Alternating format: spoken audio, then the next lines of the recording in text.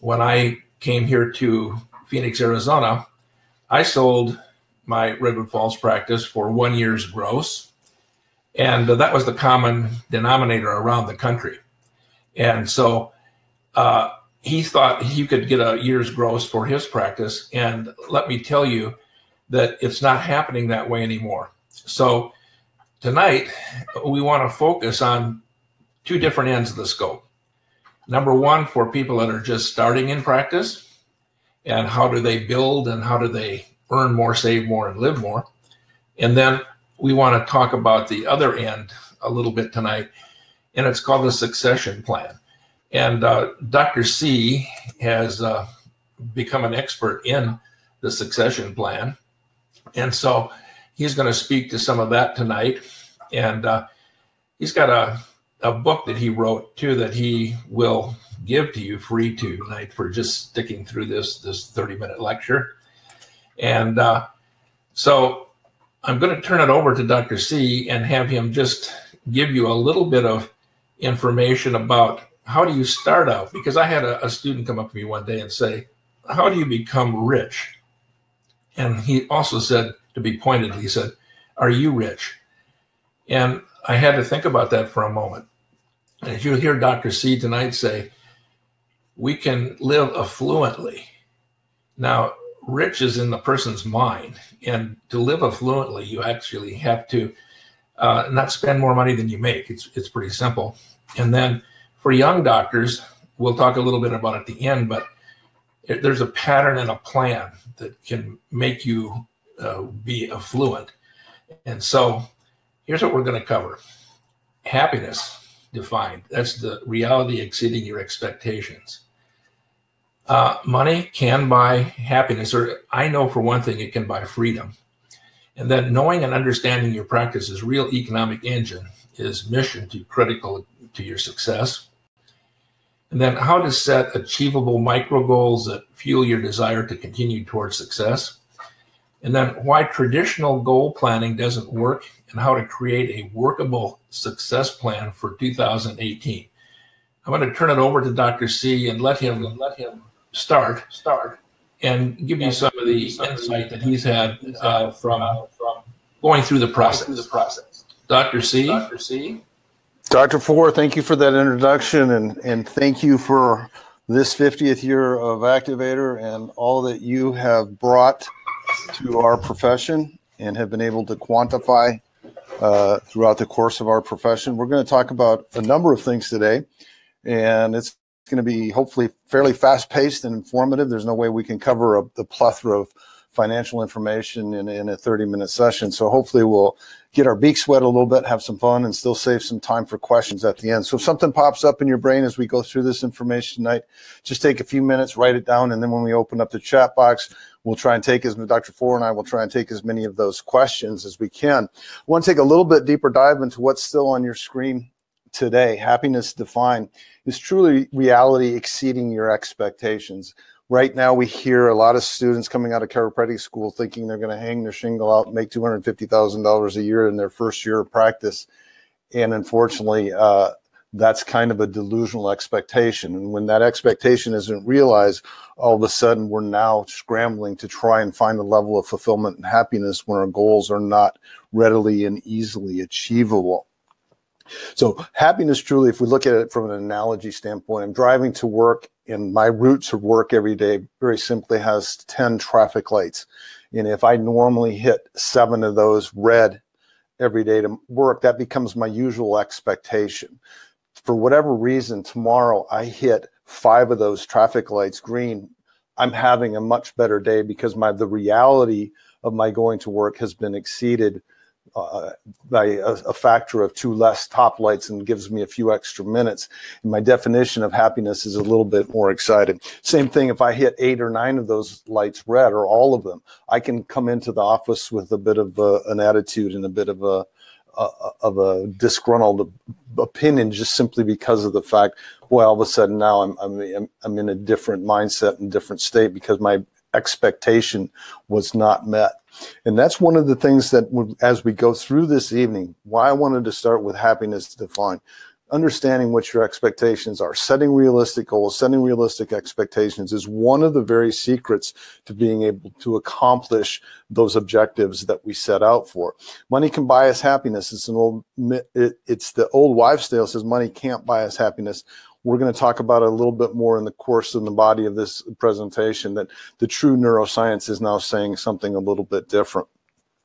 Knowing and understanding your practice's economic engine what is your economic engine? Regardless of the style, type, success level of your practice, there's a true economic engine. One of the things that we get out of school with is, a thing is a, is an un, misunderstanding oftentimes that we graduate with the white coat syndrome and that we're doctors. Well, what we really are is small business owners first and foremost. And one of the things that you have to understand about your business as a small business owner, first and foremost, every small business is truly a family business. Dr. Frank Sovinsky is a founding partner in the Sidecar team, co-authored the book, The E-Myth Chiropractor with Michael Gerber. And that sentiment runs through there. If you're having a bad day at work, you're probably bringing that guy home with you or that gal home with you, and your night and your family relationships are going to be a little bit more tense and stressed at home. So understanding that in your practice, your true economic engine is your ability to adjust patients. I got to give a, a, a, little more of a acknowledgement to Dr. Fuhr because I'm always asked, what's that one thing that you did to create a very successful practice? For those of you that don't know me, I just turned 58, have uh, my very first grandchild who is now one month old and I have three grown adult children. I've been married for 32 years, and uh, to the same spouse, not to 32 years to, to 32 different women. So I'm very happily married, very fulfilled in my career. I started my practice in uh, 1985, and I exited six years ago next month when I was 52 years old. And I got to the point when I was in practice that I was developed a case of, of boredom I'd always been a, a, mentor and partner with Dr. Sovinsky and doing some some work with uh, mentoring doctors. I'm a, from a family of teachers, and my dad's a teacher. My mom was a teacher.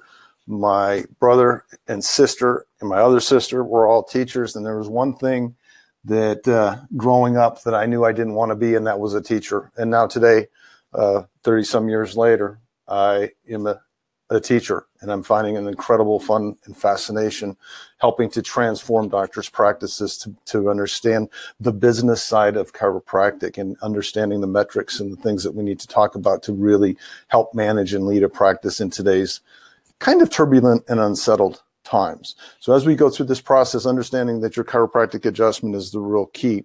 That's the reason I want to give the, the, the acknowledgement to Activator in the 50 years is that one thing that people always ask me, there is never one thing. It's a whole lot of little things done consistently with an effort to always be the best in the world that you can be at what you do. And the number one thing that I know I needed to have to, to be able to scale and serve the magnitude of people and make an impact in my community was confidence and competence in my adjusting skills.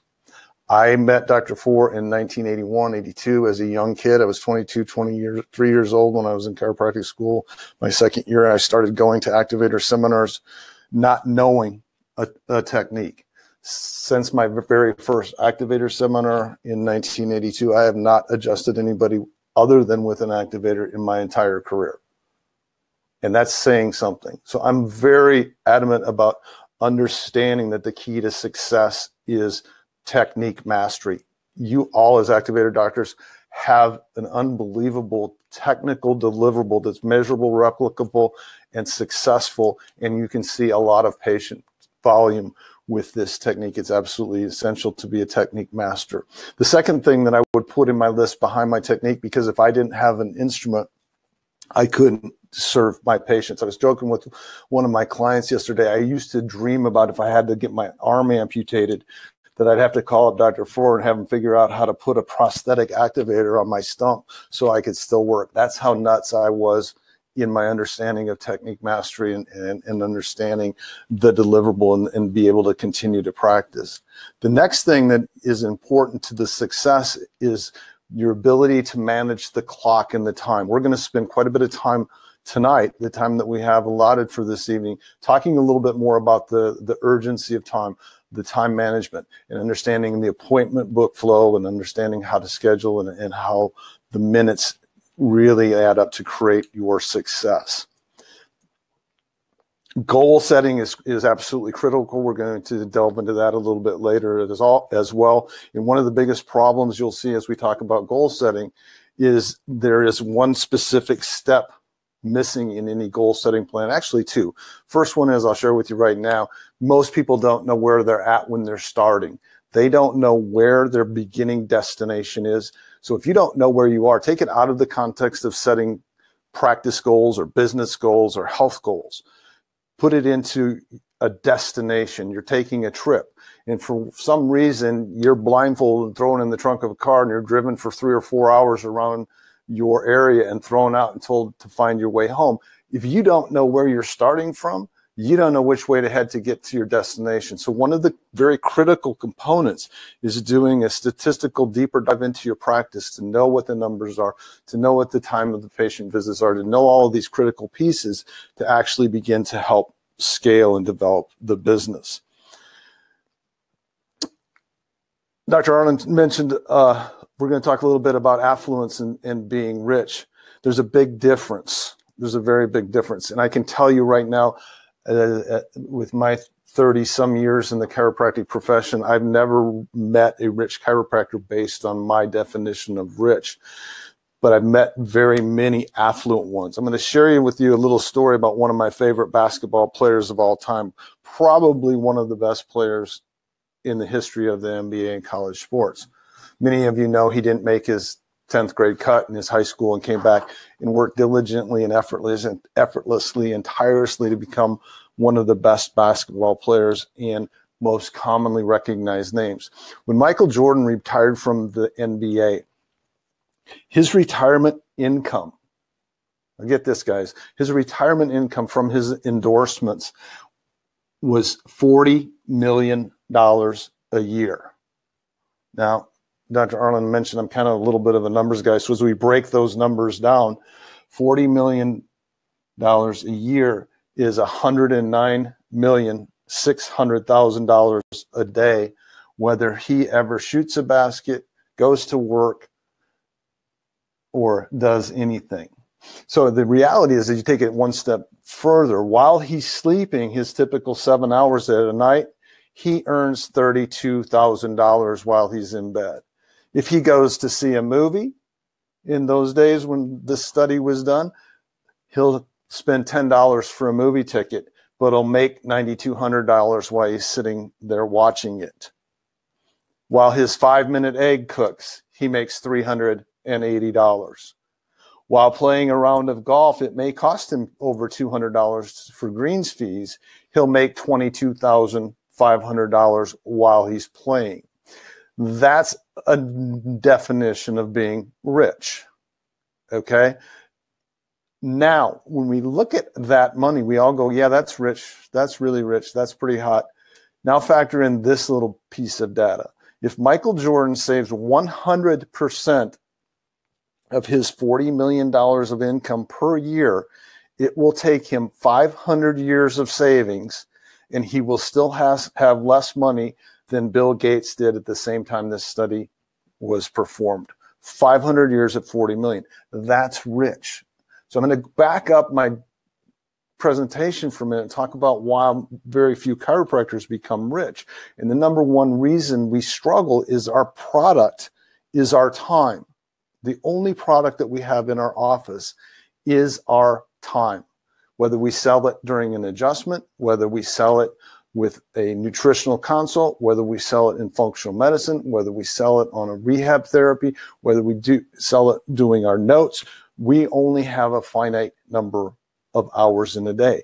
We do not get paid for sleeping like Michael Jordan did. We do not have factories making Nike tennis shoes uh, overseas 24 hours a day.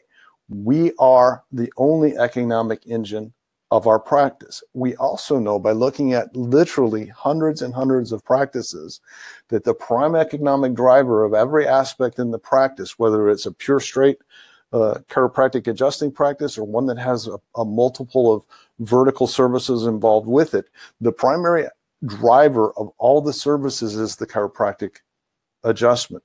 If you don't think that's true and you do true and you do have a practice that offers some additional verticals or, or therapeutic procedures, if your chiropractic practice numbers are up, I'll promise you your acupuncture numbers up if, are up as well if that's one of your verticals.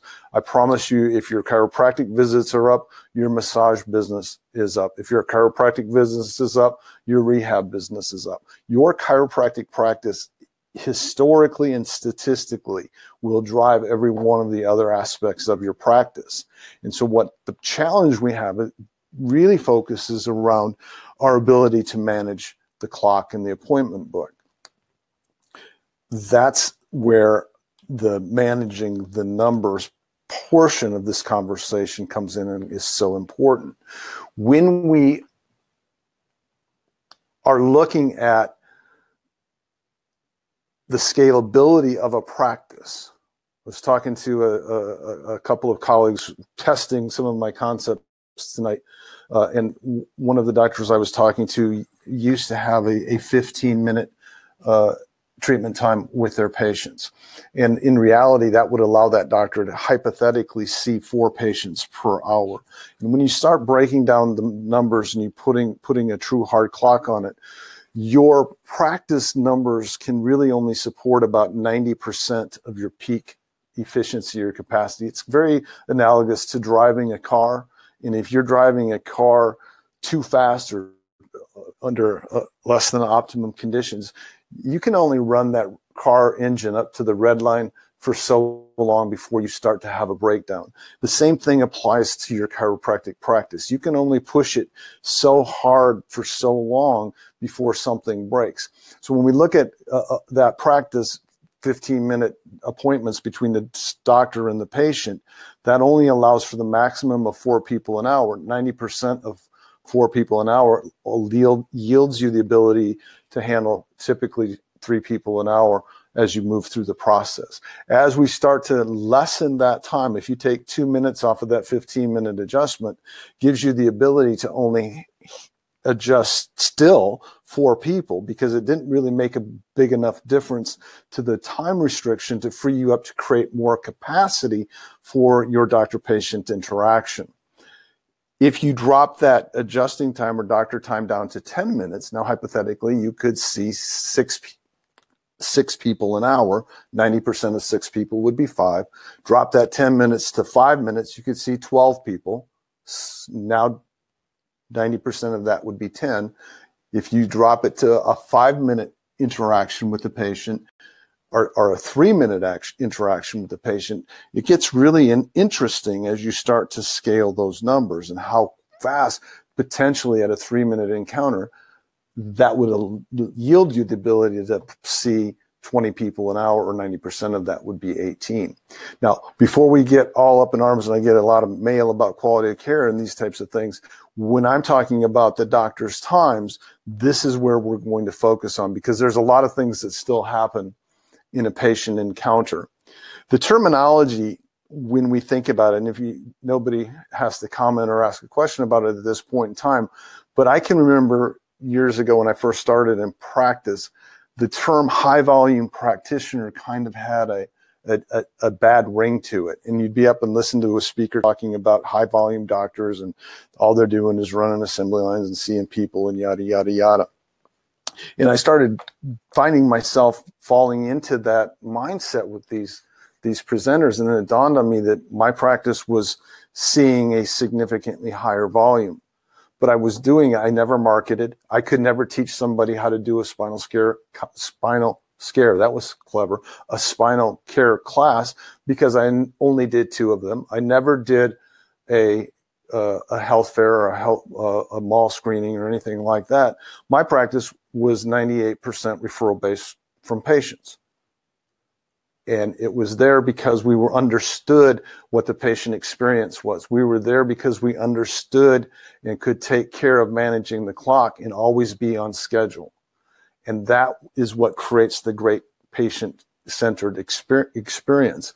I will challenge you all today to as you take anything away from this conversation the field of practice, if we look back, those of you that have been in practice in, in the profession a longer period of time, like I have 25, 30 years, the game has changed. The third party reimbursement, the insurance companies, the regulatory bodies have continued to move our cheese around the board. And as a mouse in the trap or in the maze, we continue to have to find it and look for it in a different way. If you look back on reflection, it seems like about every five to seven years, five to seven years, there's one of these fairly disruptive circumstances, ICD 10, uh, pre authorizations, all of these things. And you look back to 25, 30 years ago, Dr. Arlan and I were talking, we still remember where we had a $50 copay and a 90 10 or an 80 20 policies for re- reimbursement, where we could actually send in a, a, claim form or bill the patient, and our average collections were always 99, 99.5% of what we charge because that's how it was always done. The, the game has changed. Now, what happens is that because the game has changed, the cheese has been moved we have to play the game and compete at a little different level. It is going to require a little bit more higher volume to create a degree of affluence in the lifestyle that you want as a as a physician and an earner. Don't get your nose out of joint and feel discriminated. My son-in-law is an ER doctor. The amount of charting, he told me the other day, for every hour he sees patients in the emergency room, he's doing two hours of documentation a one to two ratio. That's unconscionable in my mind that we are now so worried about creating documentation that we're taking high quality providers and making them truly technicians. Again, topic for another whole nother time. But what I want you to see here is this concept of higher volume shouldn't be scary, shouldn't be frightening. It's something that we're all by nature and design truly set out to be. What I mean by that is if we're going to the to run a 10K, I've never met anybody yet who says, you know what, this is my sixth 10K, and I'm going to go out in this race and see if I can run it a minute slower than I ran the last one. Everybody goes, I'm running my sixth 10K. I want to see if I can get a a PR personal record. I want to see if I can go a little bit faster. I want to see if I can lift a little bit more on the bench press. The same thing is true in higher volume. I never set out to see 700 patients a week. I set out to see a few more than I saw last week. And over the course of days, months, weeks, and years of constantly working, committing myself and bettering myself and bettering my systems allowed me to scale to an incredible level, allowed me the opportunity to actually be such an important part of my community. One of the things I'm most proud of in my career is I was actually asked by three different patients' families to be a pallbearer in their deceased loved one's funeral. I can't imagine. I like my dentist. In fact, I was at my dentist this morning. I can't imagine my family calling my dentist up and asking him to be a pallbearer in my funeral. Okay? Three times in my career. That's one of the most things I'm most proud of.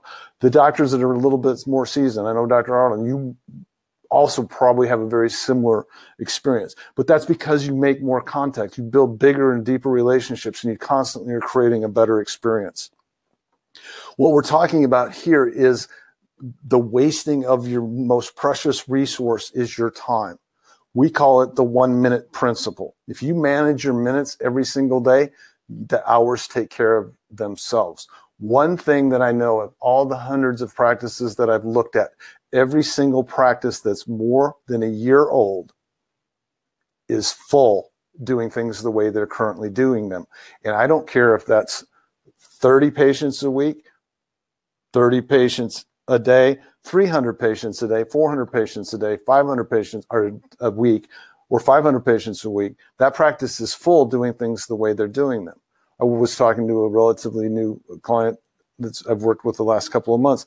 He's shocked at how his practice has grown and scaled just because he's looking at managing the minutes. It's amazing. Always start with that piece to create the capacity in your practice.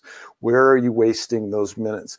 One of the things that uh, really got me thinking like this early on in my career was when I would go to the grocery store and in the grocery line there'd be 36 checkout stations and there'd be three clerks checking people out and there'd be 12 to 15 people standing in line waiting to check out.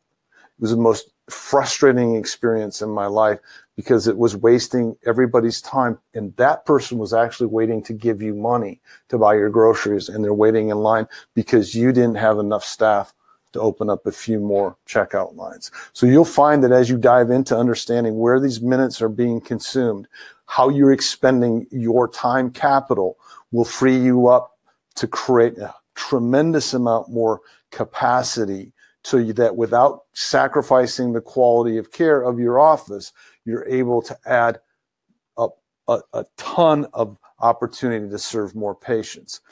We call it the dollar per minute. This is where we talked at the very beginning. You need to know where you are. One of the things that you need to know where you are is not how much money you make per hour, but truly understanding how much you produce per minute. If you take the doctor who's seeing a, a $45 average collection for their office visit and they spend 15 minutes with that person, they're making $3 per minute. $180 an hour. You take that doctor and now they're spending five minutes with that patient. They're producing $9 of revenue per minute times 60 is 540 dollars per hour. That's pretty healthy. And unlike Michael Jordan, you can only do that in your peak clinical hours that you're working. So probably most doctors that we're exposed to are in that 24 to 30 clinical hours per week. So that's your peak. So you got to know what your dollar per minute valuation. It's a very easy exercise to com- complete, and you got to know where your best value is. If you're spending as a doctor time if you are truly spending time doing things that we would qualify as a dollar per hour job where you can hire a staff to help with your manage your EHR and and docu do follow you around and help you with your documentation that creates a huge amount of capacity and releases a, a huge accountability burden on you and your practice having appropriate staff, have well trained staff, have well hired and recruited staff. Had a call today from an ACI that we've been working with. He said, I really got nothing to talk about except I am so grateful for what's happening. I've never had a team like I have right now. They're bringing ideas to me, they're changing. And I said, the reality is, Dr. Tom, they're that way because your leadership skills over the last year have stepped up great teams. Our teams carry our dream. And so we become very specialized in understanding that no one can deliver the adjustment better than you, the doctor. That's the one thing in the world that you do better than anything, anyone else. And when you understand that that's your most vital role, you can have someone else teach them an exercise. You can have someone else talk to them and get their supplements for them. You can have someone else help you with your nutrition and do this in such a way that your time is really dedicated only to serving the patients. Dr. Arlan talked about goal setting. This is a, I know we're going fast and furious here, but I want to be respectful of your time. Dr. Arlan promised you some time for questions, and I want to make sure that we're honoring that. So we created a, a, system called our SmartX goal system. I talked about early on in the conversation that if you don't know where you are, you'll never, and you don't care where you're going, you'll never be lost. Okay. You got to have a, a, starting destination. So you got to know what your current statistical metrics are. In Sidecar, we teach 26 different office management statistics that tell you uh, or give you enough data every week to manage your, your the, the, the numbers in your practice for help to forecast, help predict your valuations, help understand where your peak hours are in your in your practice, how you need to staff accordingly. But when we start setting the goals, a SmartX goal, the acronym stands for a goal needs to be specific, it needs to be measurable, it needs uh, to be achievable, it needs to be realistic, and it needs to be timely. Go through that again. Specific, measurable, achievable, realistic, and timely. If you're failing to set smart goals, I'm not a big advocate of the secret. I'm going to write something down and it's going to manif- magically manifest. That, in my opinion, is a fallacy. The only way that you bring something from your vision, something that you are trying to improve, is the last part of this goal setting formula, the X. If you fail to create an execution strategy, what are you going to do to bring that future into the present? What action steps are you going to take? You will always fail to achieve your objective. It doesn't happen by happenstance. It happens by strategic thought and action. So SMART X is the acronym that you want to use when it comes to goal setting. In the book Wired for Wealth by the Klontz brothers, I skipped over it in the, in the in slides, but the belief system. These are neuroscientists, researchers. They're the Klontz brothers, K L O N T Z. They're both neuroscientists. Uh, they actually did some very in-depth research on financing and the belief systems that wealthy people have. And one of the things that they found in their research was that in the US, if your family income, family of four annual income is under $50,000, additional income will actually create more happiness in that family unit. They found that above $50,000 in the US, there's literally no appreciable happiness value in your brain, in your life, and in your results. I know that's hard to believe. Some of you that may be making $50,000, but you have shelter, you have food, you have safety, you have security. Your bottom uh, needs are being met and exceeded in the Maslow's hierarchy of social development. And so it really doesn't create additional happiness. Dr. Arlan alluded to the fact that as we go through and having a level of affluence, affluence means you have amazing relationships with your family, amazing relationships with your friends, amazing relationships with your community and your kids in your church and the people that you care about. But more importantly, you also have, or as importantly, not more importantly, as importantly, you also have the resources to enjoy opportunities that you can provide for your loved ones, your stakeholders in your community. And that's one of the absolute secrets. I'm going to charge you also with this bit of information from the E Myth chiropractor as well, where you got to understand Michael Gerber's been the name, the E Myth has been the uh, named the best business book for the last 35, 40, 50 years. And one of the things that Michael says in that book is you as a business owner, small business owner, you have a moral obligation to make a profit. And that struck me very uncomfortably when I first read it, because I think a lot of times chiropractors have a little bit of a poverty complex. But as you dissect that statement, we have a moral obligation to make a, a, a profit. And that's because if we don't make a profit, our stakeholders suffer. Did you get a loan at the bank? Do you have student loans? Somebody took a risk on you. Your staff has a job. Your accountable to other people just than yourself. There's stakeholders in your community that are dependent upon you making a profit and paying off the, your debts in investing in your churches and your community activities, your staff. But if you don't make a profit and you go out of business, the most important people in this whole equation that suffer are your patients because you're no, no longer there to give them one of the only non-drug, non-surgical interventions and hope for health you guys have an amazing gift in what you do.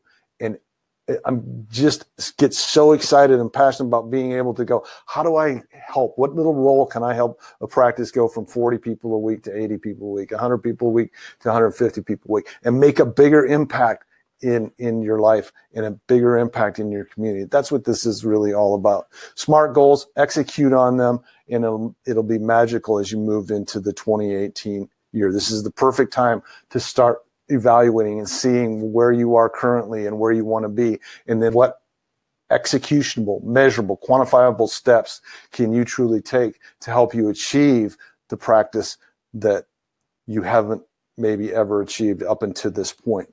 The reality is that history has often been said to be uh, a, an indicator of or predicting of the future, or it the sentence is this history doesn't mandate the future, it predicts it.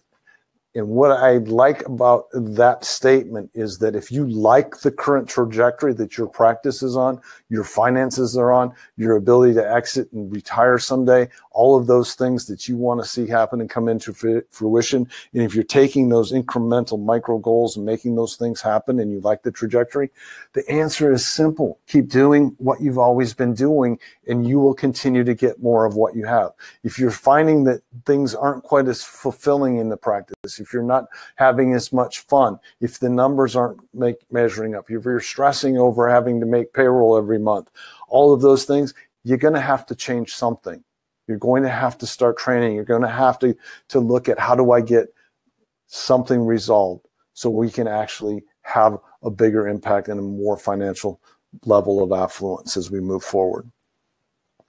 Very simply put, change your mind, change your habits, change your life, and we can start having a, a whole different level of affluence in experiences in our personal life. One of the things I'd like to do, and I don't know if Kevin, if you can help get gather the names. This is the book that I wrote, Seven. It, it's really short and simple, and it's short and simple because that's me. Um, I'm not that complicated, nor am I that smart. When I was in school and graduated in December of '83, one of my teachers in my first year, sec, first year, second year, uh, pulled me into her office one day and said, "You know, Doug, uh, they're going to put your grades on your diploma." And I went, "What?" That no, they don't really do that. Well, in your case, they're going to make an exception. They're going to put your grades on your diploma, D, C. And that I started laughing, okay, because I didn't really understand. I thought she was serious because my grades weren't that good in school. I was working through school, helping to pay my, my school. And as I said, my parents were all educators. They didn't pay my education. And this is a simple, but in order for something to work, to be scalable, to be replicable and sustainable, it has to be simple. I'm not going to say it's easy, but the system is very simple. It's very applicable. And if you do it consistently over time, you will be affluent beyond your dreams. So, uh, uh Dr. Fuhr, are you available to answer some questions if we have some? Yeah, we're, we're, we're able. Doug, if you shut your microphone off, um, I wanted to add a couple of things to this. Um, I remember back when I was actually, I remember it to the year I was 28 years old, and I went to a practice management seminar. You know, chiropractors have been doing practice management seminars forever. And uh, there were 50 people in the room, and uh, the doctor got up and finished up his first two hours of lecture. And then he said, How many of you in here would like to become a millionaire? And I remember raising my hand, and there were two other people that raised their hand. And he said, Okay, the rest of you can leave and have a coffee break. And he kicked them out of the room. He pulled the three of us up front and he said, It looks like you're the only three that are really serious about this. And it was two other young guys. And uh, he said, I'm going to give you each a book, much like you're offering here tonight. And uh, the book was, some of you have heard this for many years called The Richest Man in Babylon.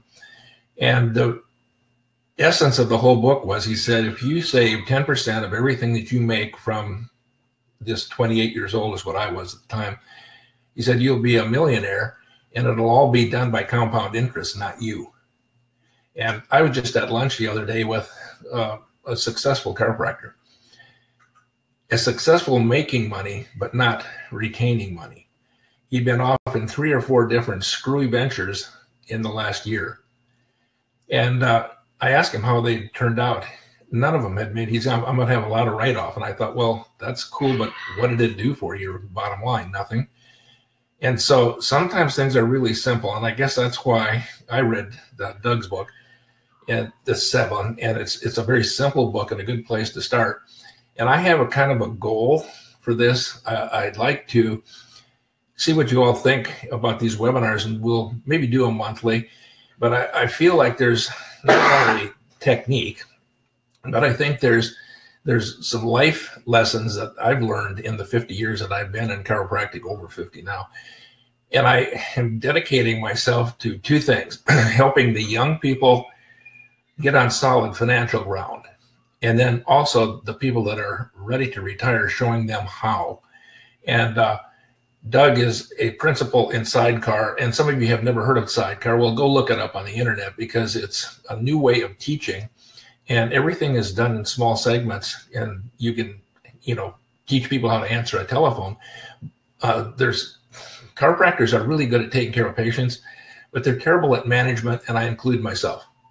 All you have to do is ask my wife, and she'll say you can't manage anything, and it's it's the truth. I that's not where my head's at, but when we did the DISC test several years ago, that's a test that looks at uh, people's personalities. 68% of the chiropractors were social. That meant they love people. Uh, there were about 5% that were directors. That meant they were finance guys and the C guys, they were the guys that were computing all the different numbers. And so chiropractors essentially are loving people that like to take care of patients, and the rest of it they really don't enjoy too much. So that's where I thought by having some people from Sidecar come in, uh, there's some people that I've talked to for several years about succession planning, and some that I know here in just the last month that have started the process, and they're thrilled they have because there's laws when you start selling things, and there's things that you're not aware of, and you need expertise, and it's a very inexpensive lesson to have. And so, it, it, let me give you an example. We have the National Institute of Chiropractic Research and we have a brand new paper in Madrid, Spain, that is showing that activator is not only safe to treat osteoporosis, but it's also regenerating the trabeculum in the bone. Instead of giving the money to the government at the end of the year, like a lot of you had success in the stock market this year, give your money to NICR. Go to your accountants and say, what if I give X amount to uh, the chiropractic world instead of to the government? And do something for your profession. It's not going to cost you much to do it. So these are the kind of lessons that I think we can learn in, in an hour at a crack. Uh, anybody got any questions out there? Uh, I see some things coming in. The, some people are putting their names in so they can get the book for free. Just uh, type in your name and your address and your email number, and we'll get a book off to you. And so, if anybody has any questions, you can type them in right now. I'm going to be respectful of time. I said we would go from 45 to 50 minutes tonight, and we're at 45. Uh, it says, Mark just uh, wrote in, says, monthly webinars that assist our new graduates in business skills and mindset are a brilliant idea. Well, that's what I'd like to do, and it doesn't cost them anything.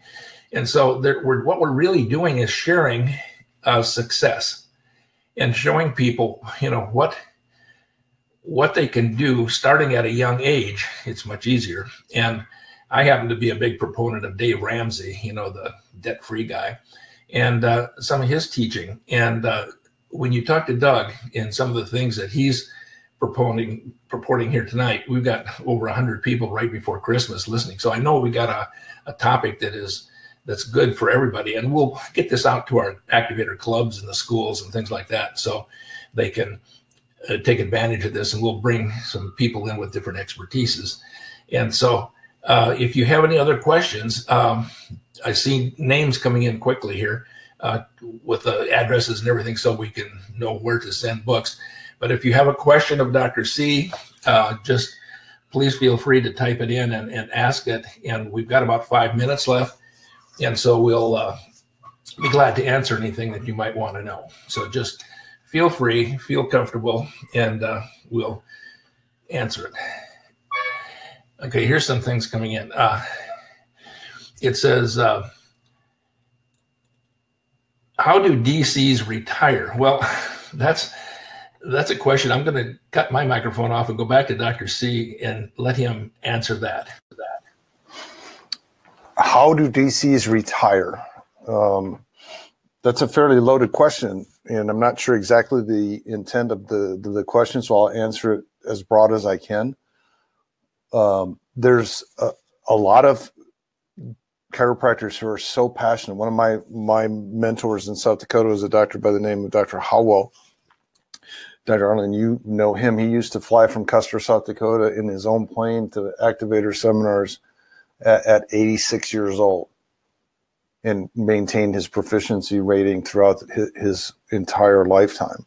He just finally retired about six months ago at 90 some years old. my perspective of, of trying to create a, a higher level of affluence for our profession is to create options, to create a an ability or a platform that gives you the opportunity to continue to work for as long as you want to. My my rule was always uh, I, I will never run from something, but I want to leave and go to something. And in my personal situation, I had hit every one of my benchmarks in my practice, and it was time for me to do something else and move on to my next creative act.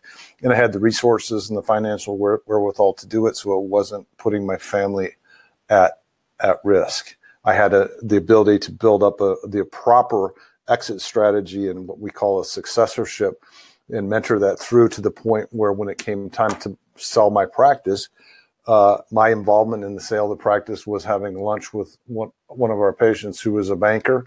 She cried and she was happy for my doctor who was taking over uh, and was happy for me to be doing something else.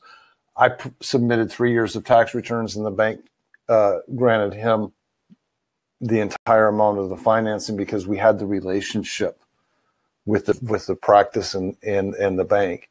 They kept their loan in house. You didn't have to go secure secondary financing. I was able to cash out and, and be be complete and whole without ever having to carry any paper because it was done correctly from the very beginning. So how do you retire? One other strategy is is to not retire. And if you start looking at the business metrics and you look at uh, if you make fifty thousand dollars a year in your practice, that is like having over a million dollars saved, netting you a 5% after tax return. So if you get to the point where you can have job share create this right stratagem where you can still work a few days a week and take home 50, 60, 100,000 dollars a year, the what that does to your retirement nest egg for what you need to feasibly have to retire comfortably uh, totally alters the playing field. There's so many different ways to to do an exit, and my passion is to help our doctors discover ways to do it on their terms. They want to practice and wheel them out of there on a gurney when they they die. Hey, let's show you how to do that, and let's show you how to make it fun and still be able to to to to enjoy it. You want to try and get out earlier and do something else. There's a way to do that. It's a little bit more difficult. So I don't know if I answered the question, but uh, I got I got another question okay. uh, here. Um, a doctor asks, how long did it take you to get up to 20 patients per day by referrals? By referrals. You know what? That's a great question because in our I'm going to answer it in a couple of different ways. Uh, I, ma- I made this statement in, earlier on that every practice is full doing what they're currently doing. So one of the worst things when you talk to anybody who does professional marketing is to take and, and spend a lot of dollars on external advertising and promotion when your internal systems are not up to speed and can't handle the experience. You're going to find that when you talk to me, I look at everything outside of our profession as my benchmarks, not inside of our profession. Because if something works for uh, Apple, it's going to probably work in our profession. If something works uh, for Nordstrom's, it's probably going to work in our profession. And what because something from an advertising perspective works in our chiropractic world or perceived to it because it worked that one time, it doesn't mean it's going to scale across the platform. So when you talk to people, the worst thing they can do, you're going to open a new restaurant. You open a new restaurant, but you haven't proofed your systems, your food, your food prep. They always do a soft opening. So if they make mistakes, they're not killing their business referral base forever. So the worst thing a practice can do is go out and spend a ton of money on advertising and marketing and not be able to support and create an amazing patient experience cycle. I know that's counterintuitive. I know the biggest complaint in chiropractic practice is how do I get more new patients? And I'm going to tell you the reality, the counterintuitive part is your practice is already full. So when you're starting from scratch and, and you're a brand new practitioner and you're not up to that volume, the reality is you have to go out and be contactable. You have to meet new people. You have to do the appropriate things with your Google advertising, Google marketing. And the biggest factor is being able to get the best clinical results, but also create the best patient experience for that patient. You're going to see. Go ahead.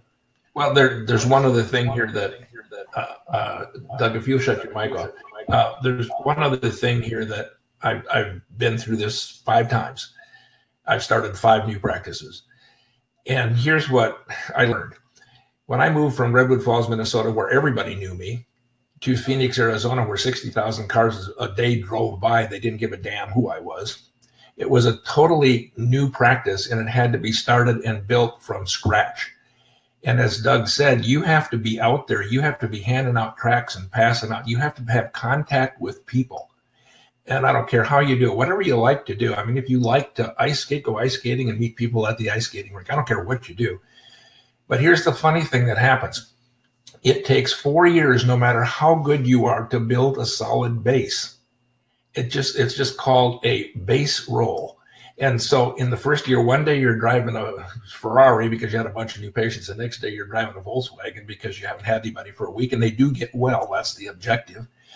And that's where people make a mistake. Then they try to drag their patients out.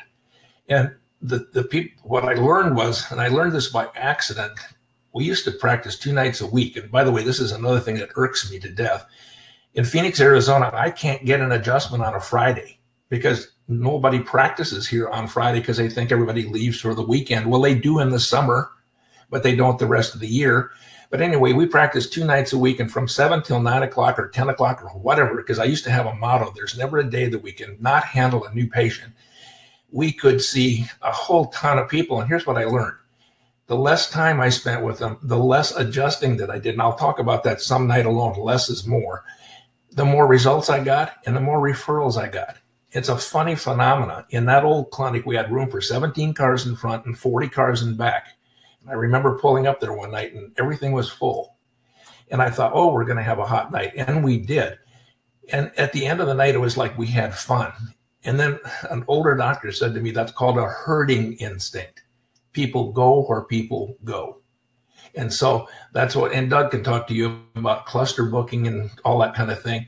And I had another question here. Uh, where can I find more on metrics? Well, uh, you can go to sidecar.com and you can look there, and Doug can tell you, and he can give you some ideas on metrics. It's it's not that hard, but there there are some step by step things that you have to do. And I know that we could go on here for two hours tonight, uh, but we're kind of getting uh, at the end of our time. Let me look and see if there's any other question here that I see on here that I, I think we've covered the, most of the ones that I have seen here that are. Uh, here's one. Uh, what is your current definition of high volume and what is a dollar visit average a doctor should aim for? And I'm going to turn this back to you, Doug. I'm going to answer it the way I started to teach it. I'm, I'm not. I'm not even going to call it a high volume because let's use the the language you learned tonight. Higher volume. Higher volume is a little bit busier than you are today. You're going to always want to be searching for making yourself and your systems better so you can make a better impact in your patients. I think we have that ability.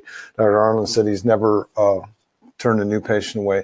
In my practice, uh, I had what I called the terrible two syndrome. We can never be too busy, too inefficient, too ineffective, too overstaffed, too understaffed, too tired, too anything to ever see one more patient. So at my maximum patient volume, we never had a waiting list practice because it was my job, my staff's job, our job to serve those patients and make sure that we took care of them to the best of their ability. We never turned anybody away. So that's the number one thing. And, and we were always able to respect our time and be so efficient that they, even if they didn't have an appointment, they were still in, in, the, in and out of the office within a 10, 10 to 15 minute time frame, all inclusive of, of what we needed to do. So higher volume is is is what you're searching for, not necessarily a, a high volume. Dollar per visit average, I will give you last um, uh, two two weeks ago Thursday, we had uh, on our peer oriented training where we do our sidecar webinar, we had uh, Cynthia English, who is the chief of the Palmer study, Gallup study. She actually came to us because she, her chiropractor was a sidecar client, and she had a great experience in that office from a patient experience cycle, and and it was just interesting to go through her, and she was t- talking about some of these metrics that the Gallup poll study discovered. And on a national level, according to the Gallup poll study, the average cash paying visit from a chiropractor, cash only fee is $50 a visit in today's United States market, according to Gallup. The average with an ins- for an insurance visit out of pocket is $38 and then some reimbursement from the insurance company. What we're seeing in our internal metrics is the patient, because of high deductibles, high copays, is averaging right now between 70 and 80 percent of the total fee is being paid by the patient in even with insurance. So like I'm talking the, the the the cheese is moving in all of these realms right now. And so we're not talking about not doing insurance, doing insurance. That's a whole other conversation. But those are two really critical metrics that you can hang your hat on. Those aren't my metrics. Those are from Gallup, the Gallup poll study. Here's my my last question up here tonight that I, I want to get out, you know, because I feel it's really, really important. Doug, you shut your mic off, please? Um, it's from somebody that says, I feel like I'm go- getting nowhere. I have been open for about eight months and about 60 patients total. Now, there's some kind of a problem here. And if you've been open for eight months and you've only seen 60 people total, and I'm sure that's not new patients, I'm hoping it's it's not new patients, new patients, because if it's 60 new patients in eight months, then that's a little bit different. But you're doing something wrong. And what I I really suggest is you get a hold of somebody like Sidecar, go to their website, find out they've got some inexpensive programs to get you started. And there's no one that can't be helped. But I feel I feel you know sad for you for trying that hard in eight months and not doing so well. Doug, do you have anything you'd like to add to that?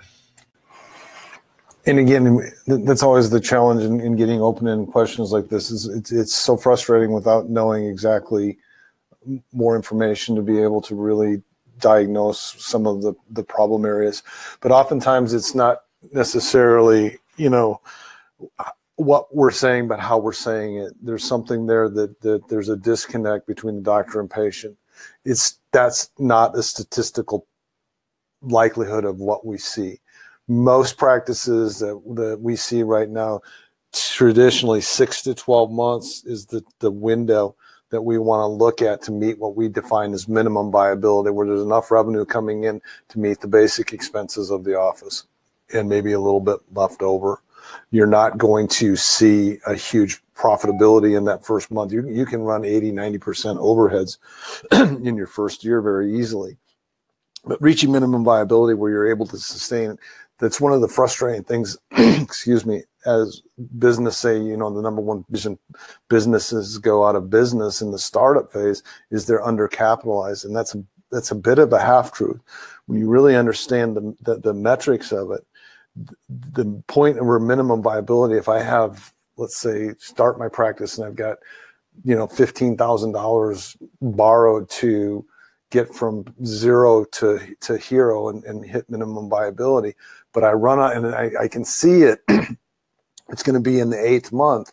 But if I run out of money in the sixth month, I, I, I can't stay in business anymore. I can't pay the rent. I can't pay my bills. Whereas if I would have just had a little bit more money to infuse, I could have hit minimum viability, but I didn't. And if you go get more money, this is one of the emotional tragedies. I you've probably seen this as well. But as you go back and refund a, a business that was undercapitalized, it takes a huge emotional hit on your heart and your soul to put more money. And you got to, am I putting good money after bad? Is this not going to work out? And you start filling yourself with those seeds of self doubt, self deprecation, and you're wondering why, what's missing. Most of the time, it's not something that's truly missing in the clinician or in the doctor. It's something they're doing in how they're presenting themselves and communicating to their patients.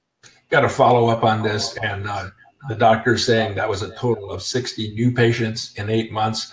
And, uh, you know, for a brand new practice, uh, there's something that you're doing management wise not as well. Well and because he says here, I have a total of 185 appointments in eight months. And so I believe that you just need some management help. Yeah, and I think yeah, that can be. Doug. He's average. He's averaging eight new patients a month, seven to eight new patients a month. His retention's 3.4, 3.5 um, which means the average patient's only coming in for two or three visits. that's where the bottom's fallen out. So yeah, I would agree with your diagnosis wholeheartedly. Okay, well, Doug, thank you very much for your input tonight. And you're talking to uh, Dr. Doug Sea., who's a principal in Sidecar. And uh, we'll be making the rounds again to have some people from Sidecar back in. Uh, if you have a topic that you'd like to have people discuss, some of us have been, as I say, you know, long in the tooth and been around for a while. Uh, why don't you just send it to me, aw4 at activator.com, and just tell me what you'd like to hear and what you'd like to have us talk about. And, uh, you know, we've been having about 300 people a night that are interested in this. And so uh, I believe that we, we've struck a few nerves here and we're going to try to look at the 800 pound gorilla in the room. So thank you for taking this time right before Christmas. And by the way, this is taped, so you can go back and go back listen to it, listen to it. And so, uh, thanks again, everybody, and have a Merry Christmas from Activator.